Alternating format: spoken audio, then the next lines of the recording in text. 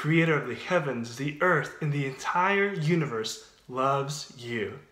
And it is through God's love that we can claim to be children of God. Hello, my name is David Magianis. This is the modern worship service at First United Methodist Church Richardson. And even though we are physically apart, we are so glad that we can worship together online. And today, you are in for a special treat. We are celebrating our graduating high school seniors that attend First United Methodist Church Richardson as we do every year. And you will get to see them lead different parts of this worship service. And I want to say I am so proud of their leadership. These seniors have had quite the unexpected year, and so I want to say to you, high school seniors, that I am proud of you and I know that God has big plans for you. And at this time, let us join together as our modern worship band leads us in singing Who You Say I Am.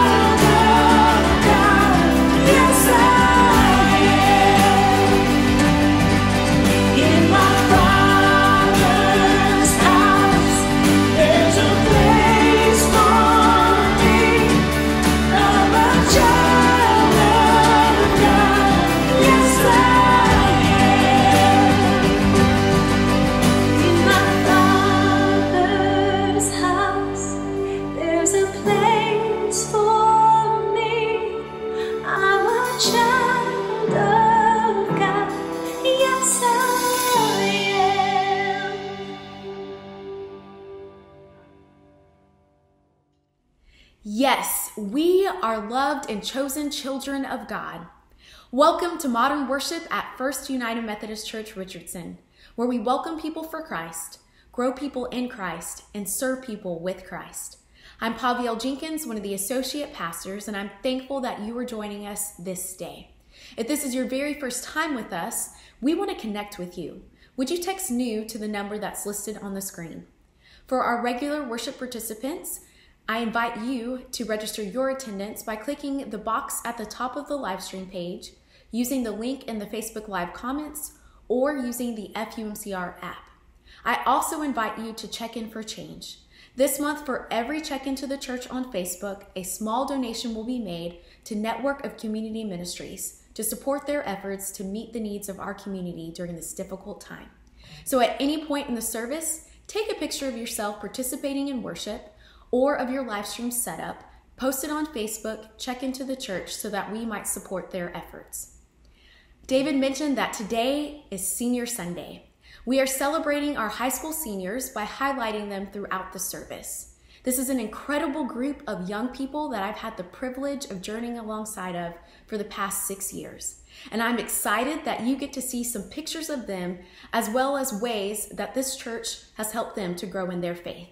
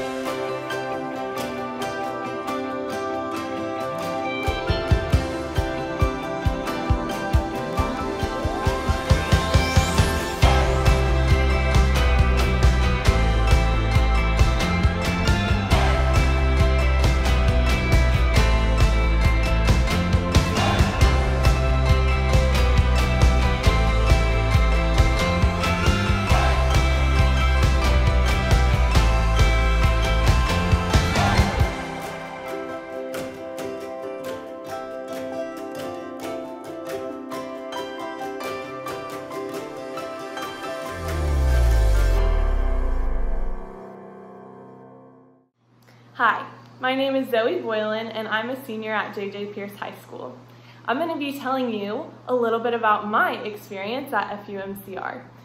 So I've been going to this church since I was your age. I remember going to Sunday school and going to VBS every summer. And one thing that Pastor Clayton taught us at VBS has stuck with me all of these years. It goes like this. Our God is so big, so strong, and so mighty, there's nothing our God cannot do. So, throughout the years, I've learned more and more about what each of those things means through the community at FUMCR. So, the first one, our God is so big. I have learned about how big God is through going on mission trips with the youth group. I've had the opportunity to travel to different places and see God's creation in nature and in the people that we were serving. The second thing, our God is so strong. I've learned about the strength of God through the community at FUMCR. I come into church every single Sunday, and there are so many people there to give me a big hug and ask me how my week has been. It has been an amazing reminder of God's strength when I felt weak. The third thing, our God is so mighty. So mighty can also mean power, right? So I have learned about the power of God through volunteering at things like VBS and through the youth really living trip. I have seen the power of God as he shapes people's lives and changes their hearts and replaces our sadness with his mighty joy. So, I hope you remember as you continue to go to church and you grow up and you maybe enter the youth group that you would remember that your God is so big, so strong, and so mighty, and with him there is nothing you cannot do. So, let's pray. Dear God, thank you for showing us how big you are, how strong you are, and how mighty you are. Help us to be reminded by the people of this church that with you there is nothing that we cannot do. In the name of the Father, the Son, and the Holy Spirit. Amen. Thank you, Zoe, for leading Children's Time. In special worship services like these, we have the opportunity to witness the impact of ministries on individuals. Many of our seniors have been nurtured in their faith over the past 18 years at our church. Children and youth programs, mission trips, and other meaningful experiences would not happen without your support. So, for that, I want to say thank you. And I want to let you know that we have the opportunity to continue to give to support the mission and ministry of this church for the transformation of individuals, the community, and the world. You may give by texting, online, or by mailing in a check to the church. A group of seniors will now lead us in song. Let us join our voices together and sing one of my favorites, Cornerstone.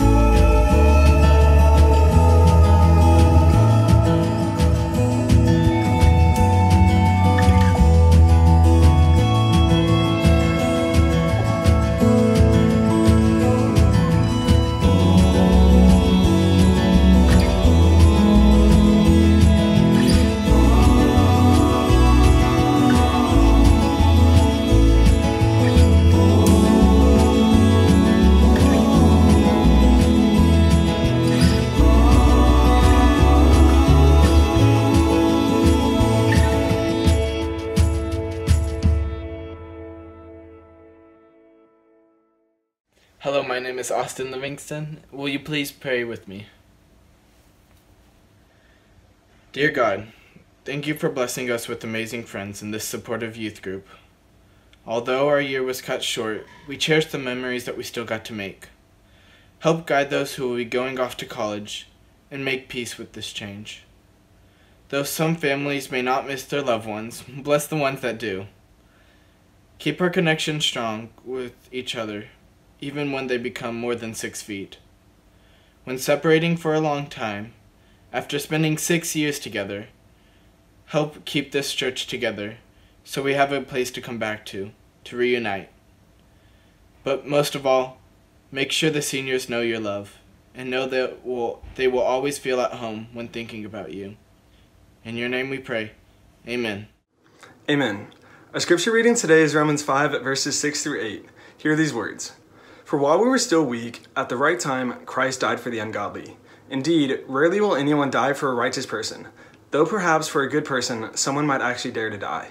But God proves his love for us in that while we still were sinners, Christ died for us. This is the word of the Lord. Thanks be to God. Thanks be to God. Uh, it's been so awesome to have our graduating seniors participate in worship with us today. We are so, so proud of you. Hey, my name is Josh Fitzpatrick, and I have the privilege of being the lead pastor of our modern worship service here at First United Methodist Church, Richardson. And one of my favorite parts of being a pastor is, is the people. And I know we haven't been able to, to see each other and gather in person for, for a while now, but I have so appreciated the emails and text messages and, and Facebook posts and comments that, that I've been receiving and we've been receiving over the course of this sermon series, We Are the Church. As I've been talking about favorite hymns and songs of the church, it's been so fun to read the stories of people saying, Oh, that, that's my favorite hymn too, and, and this is why, and then reading the story that, that follows why it's their, their favorite song. And so we're going to continue that sermon series today by talking about this song, Reckless Love, by Cory Asbury.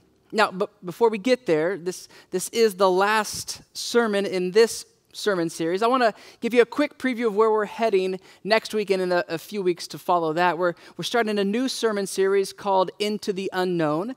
And, and I know if your family's anything like mine, that song from Frozen 2, Into the Unknown, has been stuck in your head for probably several months now. Uh, but it's also the perfect title for a sermon series that dives into the book of Acts and looks at the parallels between what we're going through now and, and perhaps what the early church was going through.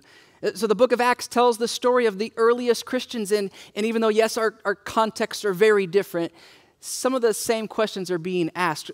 What, what are we doing? Who are we? What, what is this thing we call church, and, and what is our mission?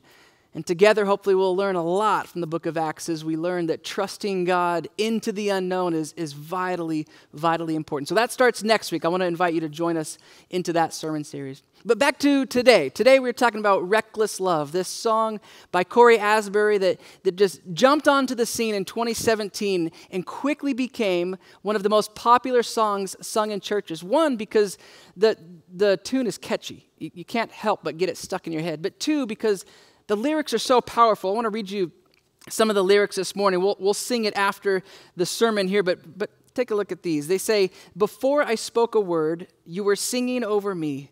You have been so, so good to me. Before I took a breath, you breathed your life in me. You have been so, so kind to me. Oh, the overwhelming, never ending, reckless love of God. Oh, it chases me down, fights till I'm found, leaves the 99. I couldn't earn it, I don't deserve it. Still, you give yourself away. Oh, the overwhelming, never ending, reckless love of God. When I was your foe, still your love fought for me.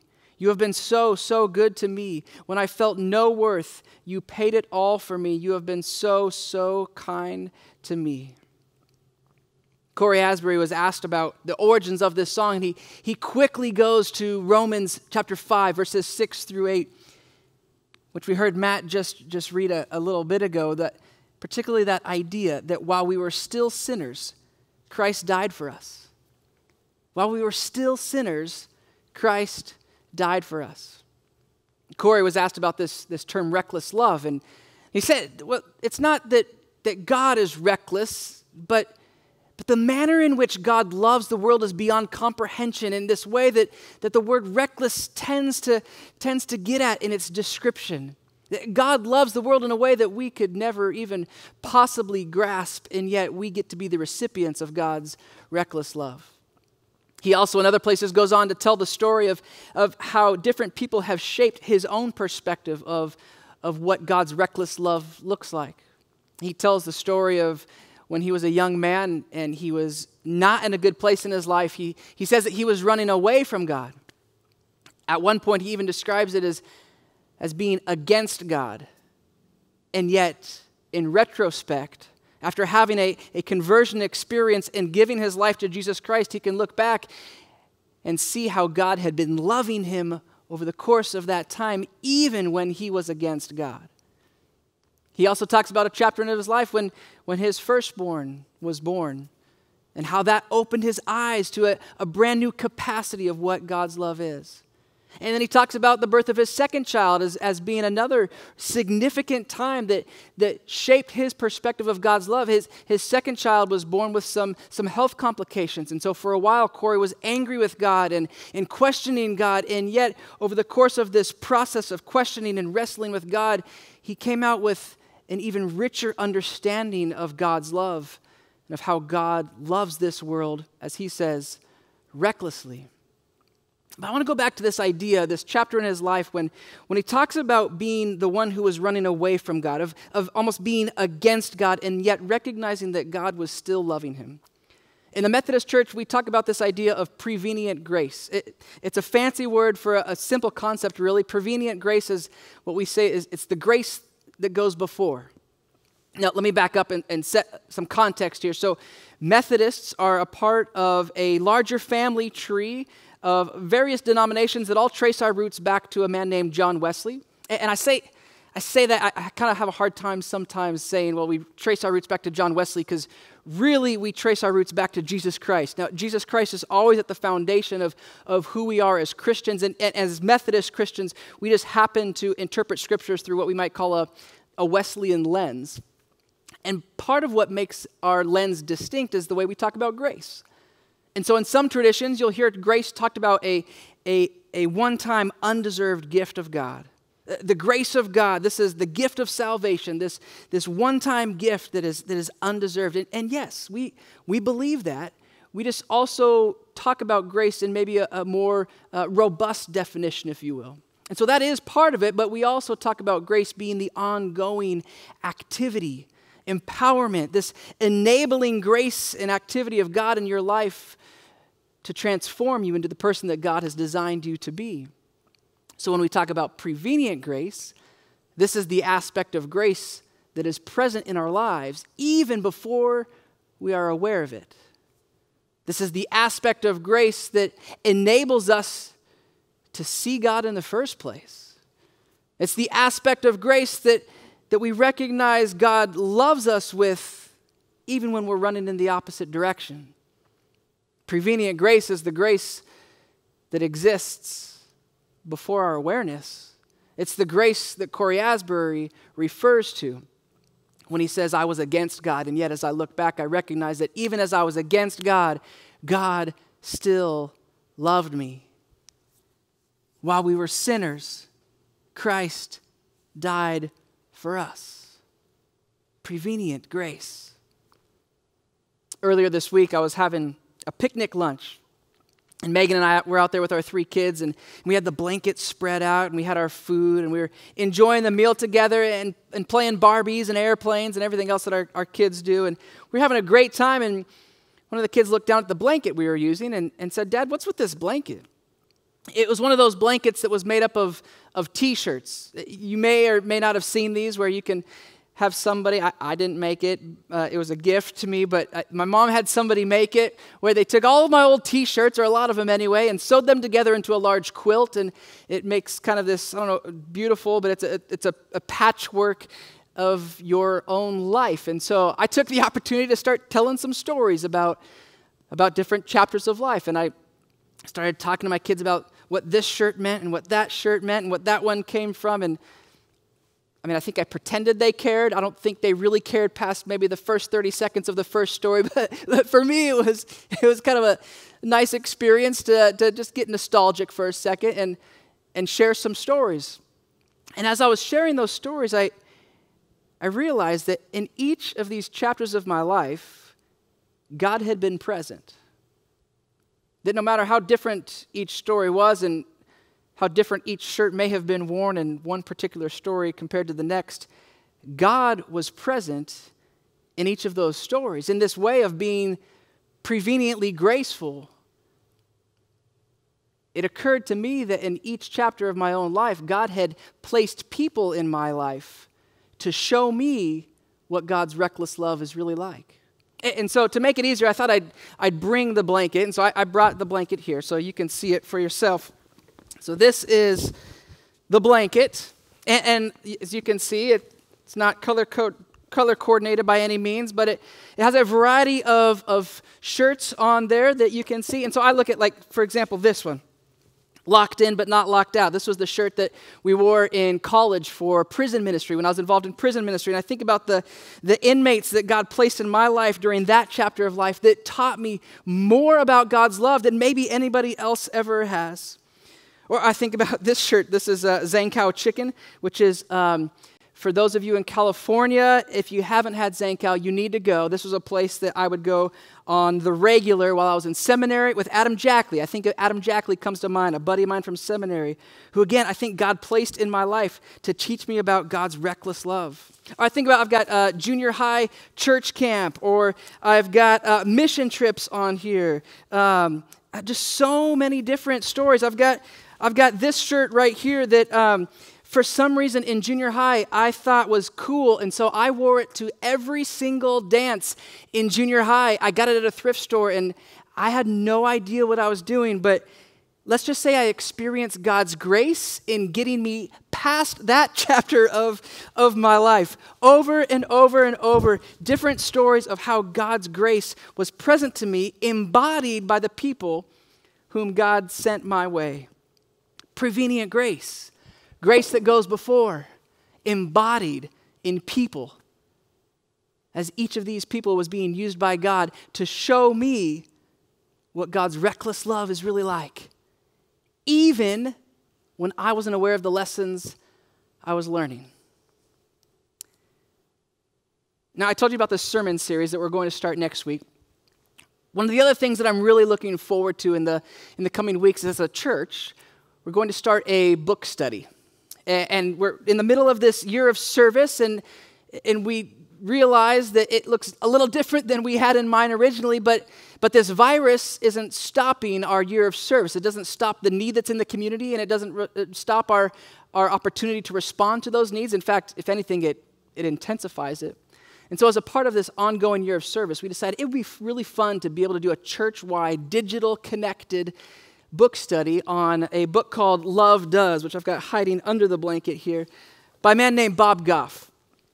Uh, if, you, if you don't know who Bob Goff is yet, you need to know Bob Goff. I would, I would really, after this service, just go to YouTube, search for Bob Goff, and just watch any video that pops up because you will instantly fall in love with his energy and his enthusiasm and just the inspiring way that, that he tells stories. And so we're going to start this, I think, on June 3rd. For, for more details on the book study, uh, Pastor Clayton and I are going to help lead this. Um, you can visit fumcr.com slash year of service. All the info you need is on there. Also, I'll invite you to hang out after this service for just like 30 seconds. After the service ends, we've got a kind of postlude. So just keep watching whatever platform you're watching for just maybe 10 or 30 seconds after the service, and you'll see even more details about this upcoming book study. But if you haven't read this book, I would highly recommend that you order it today.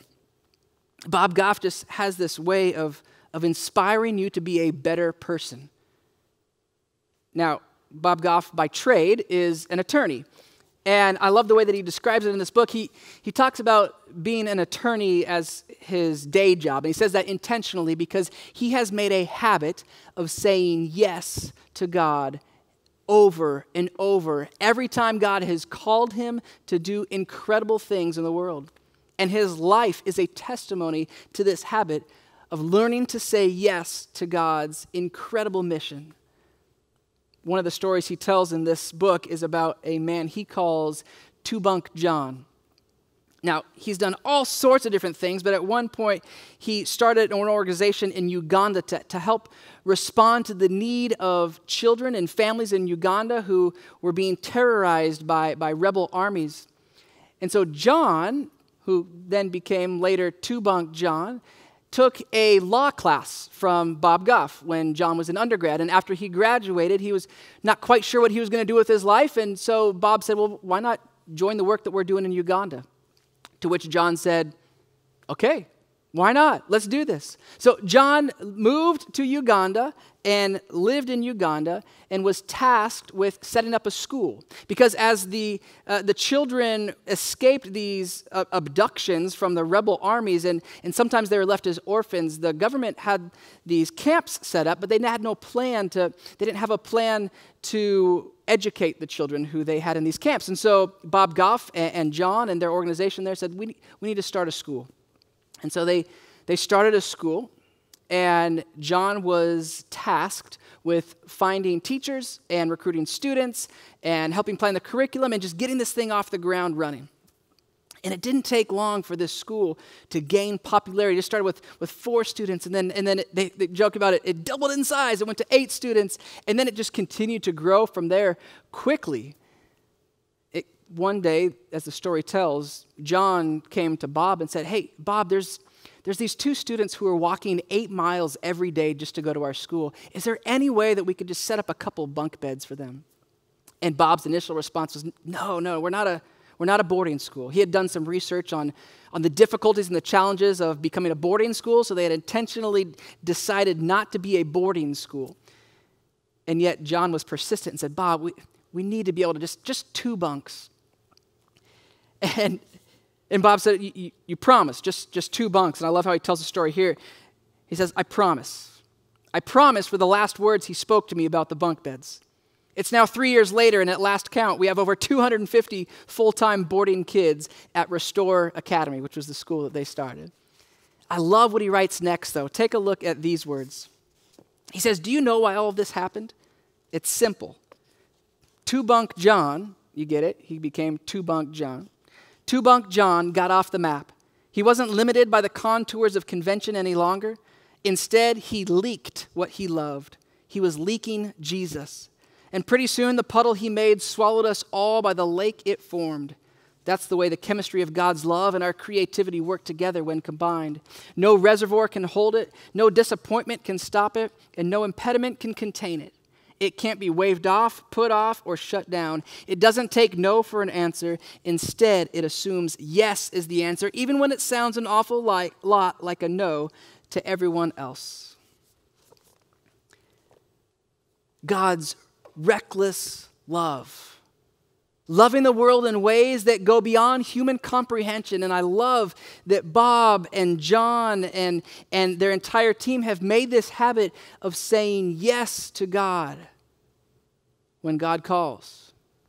Now, are they, are they superheroes? No, they're just, they're ordinary people. They're ordinary people just like you and me who have taken seriously this calling to be God's prevenient grace in the world, to shape people's perspective of God's reckless love simply by being present.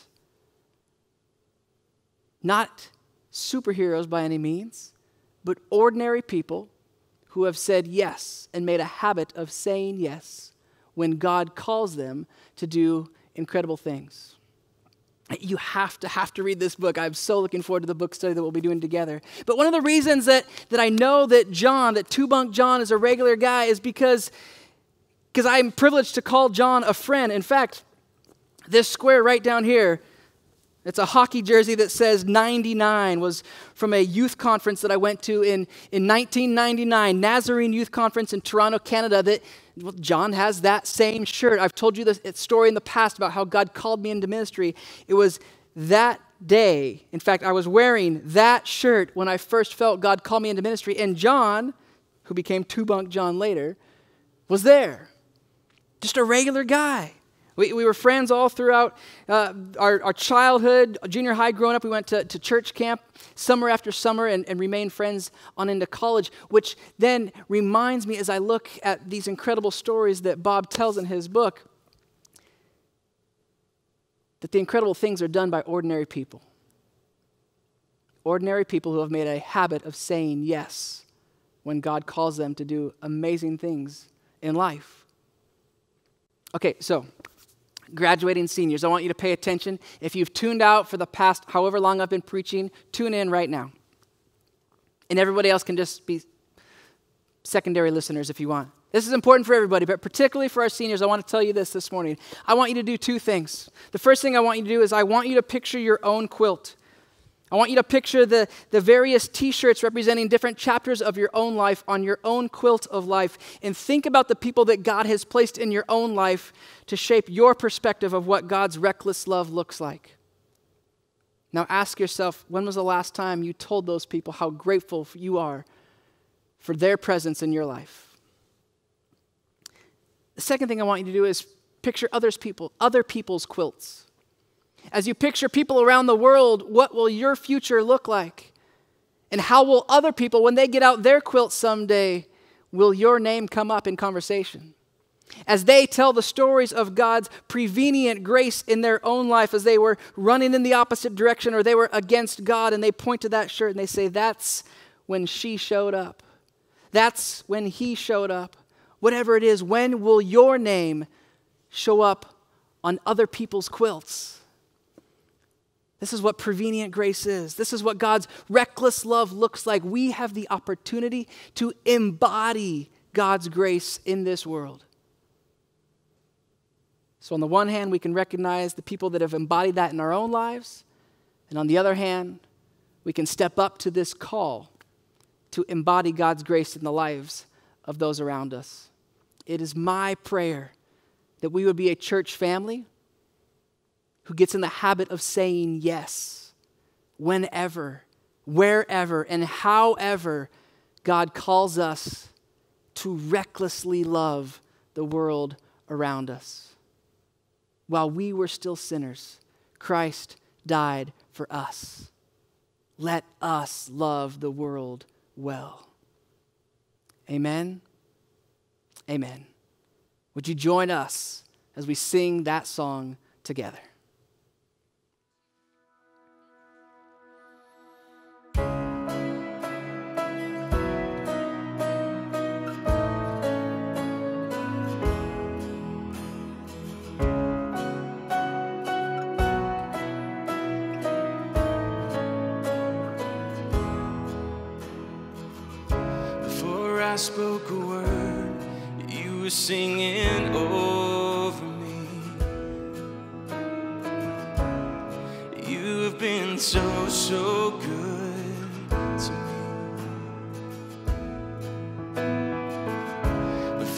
Took a breath, you breathed your life in me.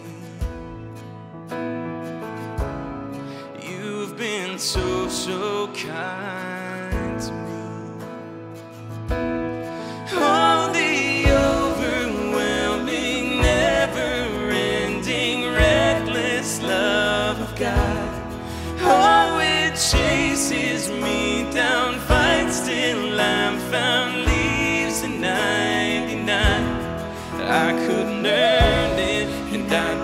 it. Still, you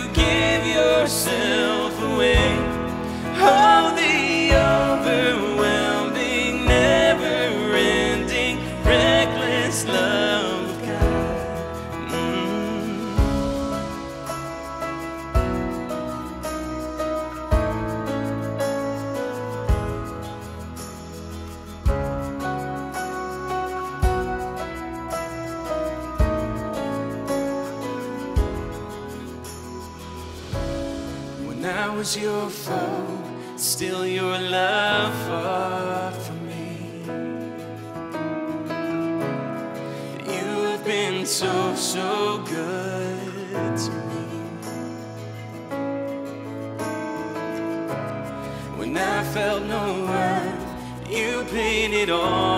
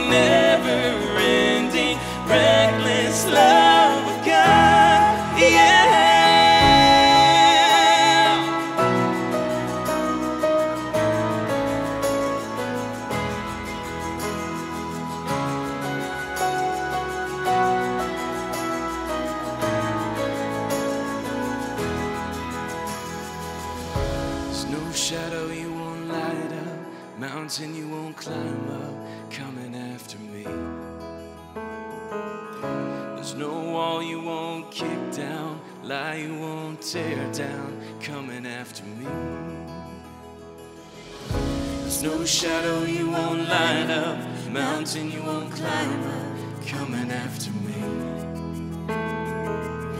There's no wall you won't kick down, lie you won't tear down, coming after me. There's no shadow you won't light up, mountain you won't climb up, coming after me. There's no wall coming after me. There's no shadow you won't light up, mountain you won't climb up, coming after me.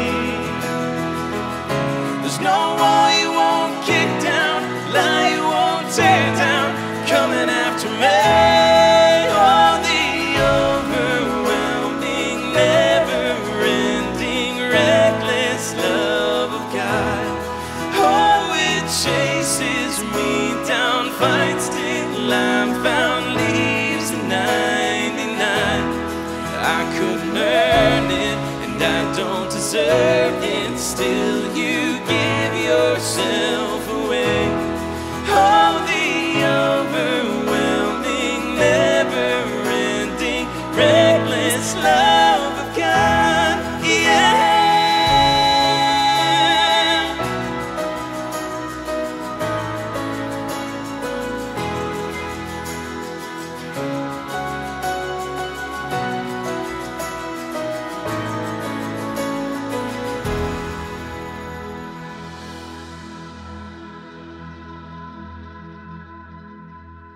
overwhelming, never ending, reckless love of God. What powerful, powerful lyrics. Hey, I want to take just a moment this morning and pause and reflect on one of the most profound ways that we can experience God's love here in this life, and that is through those who have paid the ultimate sacrifice.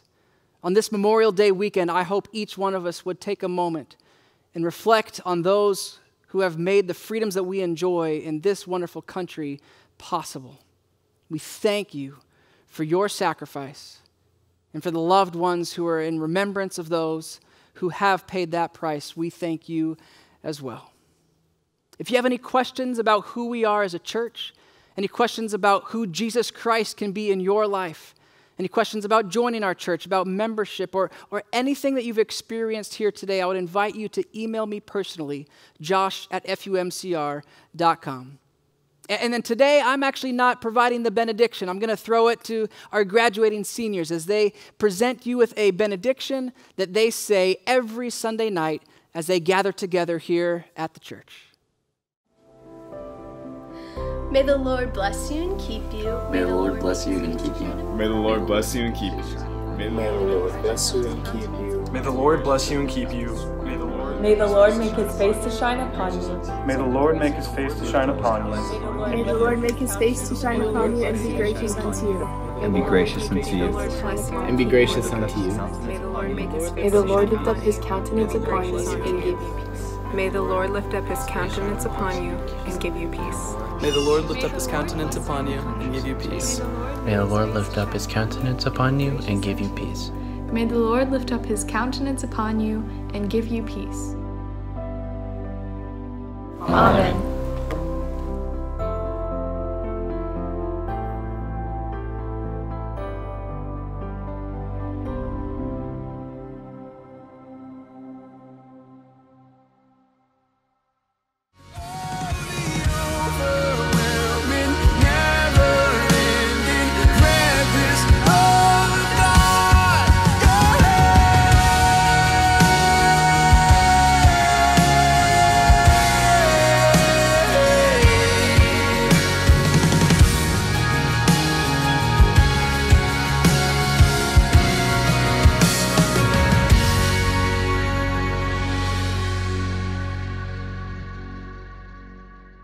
Thanks again for joining us for worship today. I have an opportunity right now to speak with someone on our staff who you may or may not know, but you should know. She's our engagement coordinator, Rohini Drake. She's been intricately involved in helping coordinate our year of service. And as a part of that continuing year of service here at the church, we are going to be a, doing a book study on the book I talked about a little bit in the sermon. This book, uh, Love Does by Bob Goff. Hi, Rohini. How are you? Hey, Josh. Do you have a copy of this book? Because if you don't, let me just let you borrow mine. Let me see. Oh, oh yeah, I love this book. we weren't quite sure how well that would work. Um, anyway, let's talk about the study. So, uh, we're going to be doing a book study, a church-wide study. Can you tell us a little bit about what this might look like? Yeah, this is kind of a unique opportunity for all of us to get together, even though we can't be in the same room, to gather together online uh, one night a week for five weeks. Uh, we're going to start this in June, the first Wednesday in June, June the 3rd, um, at 7 o'clock. And we're going to um, have you and Pastor Clayton lead us through some discussion about the book and some of the readings from the book. Then we'll watch a video together about um, kind of some topics that correlate to the book. And then we'll be able to break into some small groups online to discuss more of the teachings and more of the ideas of the book talks about. Okay, cool. So June 3rd is the first Sunday? Yes. And five weeks, did you say? Well, it's the first Wednesday. We're going to do it June 3rd, Wednesday at 7 o'clock for Okay. five five Wednesdays. For five Wednesdays. Um, okay, and it's all through Zoom or through some sort of digital platform, right? Yes. From the safety right now we're playing. home. Yeah. Okay, and um, how do you register for this? You can go to fumcr.com slash year of service and the registration is the very first thing on the page. Bam, right there. Easy enough. No excuses to not do this, right? Not at all. It'll be Okay, fun. hey, I think this is going to be fun. I'm really looking forward to this. Thanks, I do. So thanks for chatting. Uh, for you watching, make sure that you register and order your book ahead of time. That's the only cost of this uh, course is just to to get the book on your own. You can do that. Uh, easiest is probably just to visit Amazon or wherever your favorite bookstore is. Uh, and I hope you will join us for our our Love Does book study coming up beginning June 3rd. Register for it today, right? Yes. All right. Let's do it. Thanks again. See you later.